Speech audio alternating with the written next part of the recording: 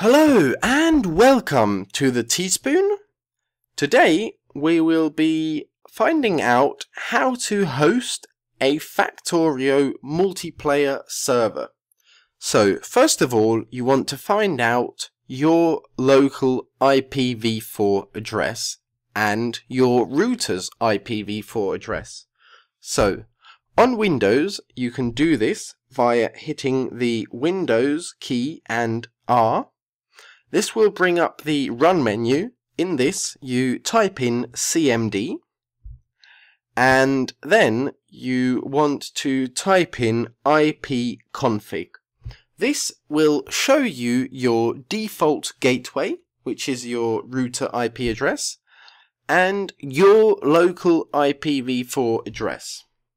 So, you want to copy that information or write it down on Mac, you can find out these two addresses via opening up System Preferences, and then you want to go to Network, and here you can see IP address, which is your local IP address, and the router IP address.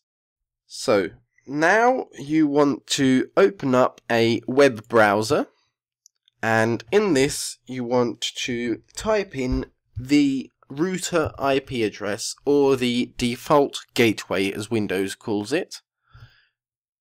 Type it all in and hit enter. This should open up your broadband router.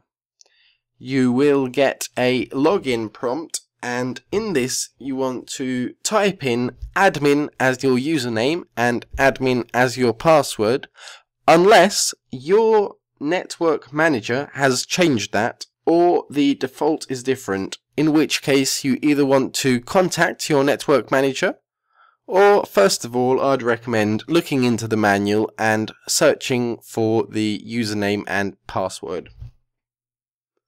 So once you're in your router, this may vary, although you want to find similar terms in your router name or just Google this specifically for your router. So on this Comtrend multi-DSLCP router, you want to go into advanced setup and here it is called NAT. In some cases it might be called port forwarding, port triggering or virtual servers. So here I am in the NAT virtual servers menu. So I want to click add and I want to choose all interfaces. Otherwise, if you choose only one of these interfaces, then it may have issues. You want a custom service name, which in this case, of course, will be Factorio and server IP address is where you want to put your local IP address. So mine is 33. External port start. For Factorio, the default port is 34 19 7. This may be changed in the configuration file, but I would recommend going with the default. So you want to put it, that in external port start and external port end, and also in internal port start and internal port end. Another very important setting here is TCP UDP, as you want to have the most protocols enabled for the most compatibility. There we go. I have saved the settings.